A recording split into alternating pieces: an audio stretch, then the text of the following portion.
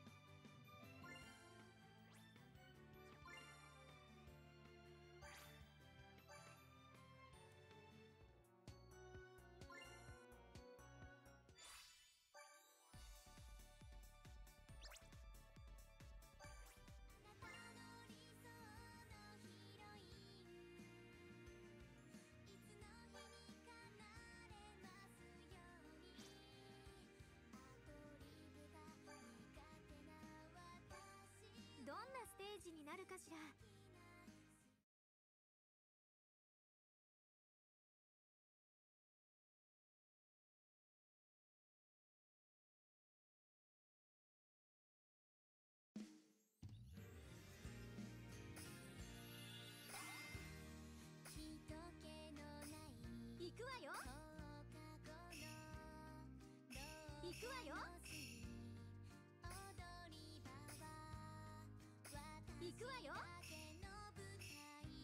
みる。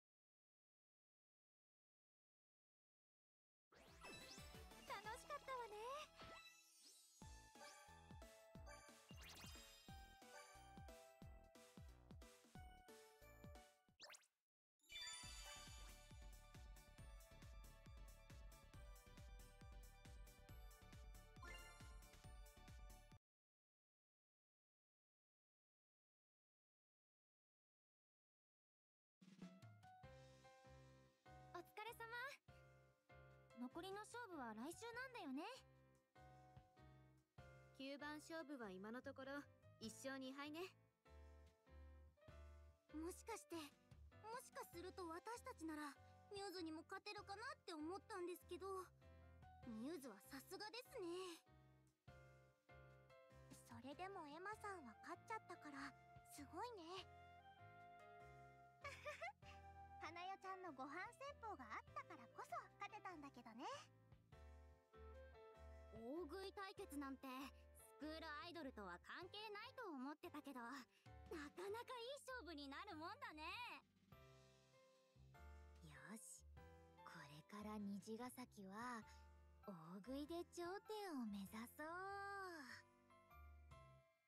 目目指しません！ダンス対決は見応えたっぷりでしたねエリちゃんのダンスが忘れられないわ。完成度だけじゃなくて見ている人たちを盛り上げるパフォーマンス。かりんちゃんのダンスもすごく良かったよ。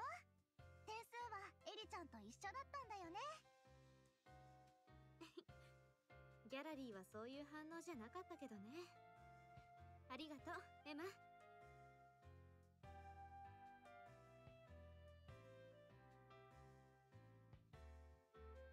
私は海先輩と静子のボーカル対決が熱くてよかったな。勝てたらもっと良かったんだけど。でも楽しかったね。海さんはあんなにノリノリで歌ってたのに終わった途端に恥ずかしがってた。不思議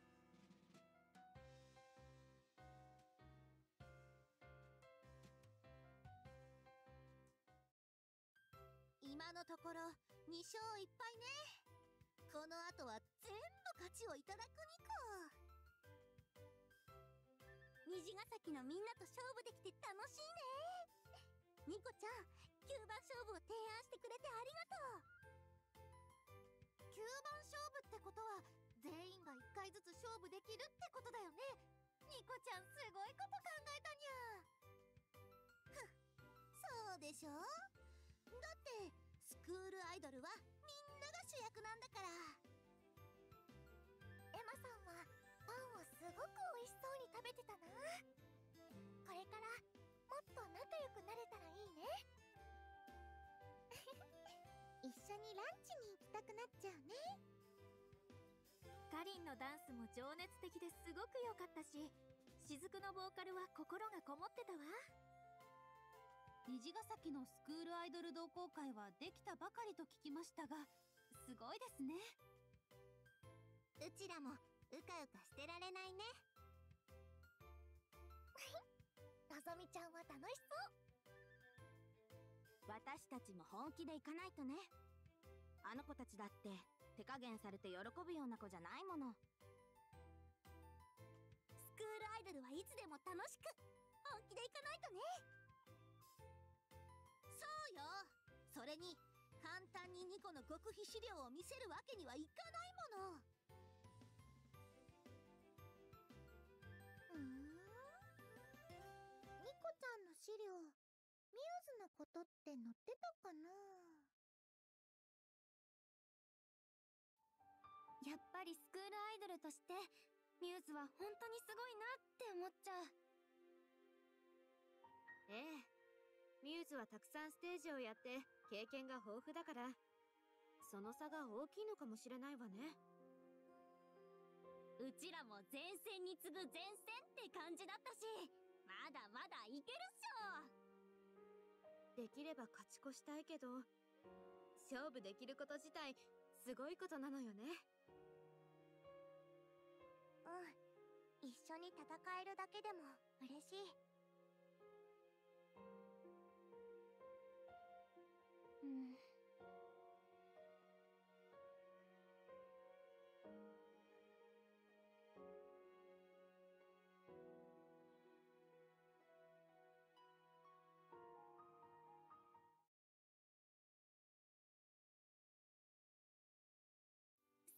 ね。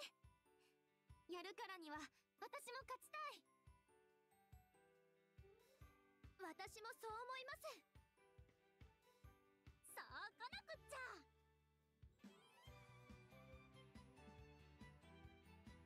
次の勝負は1週間後よね。だったら特訓しましょうよ。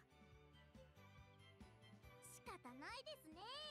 かすみんがみんなの代わりに大勝利を収めてあげますよ。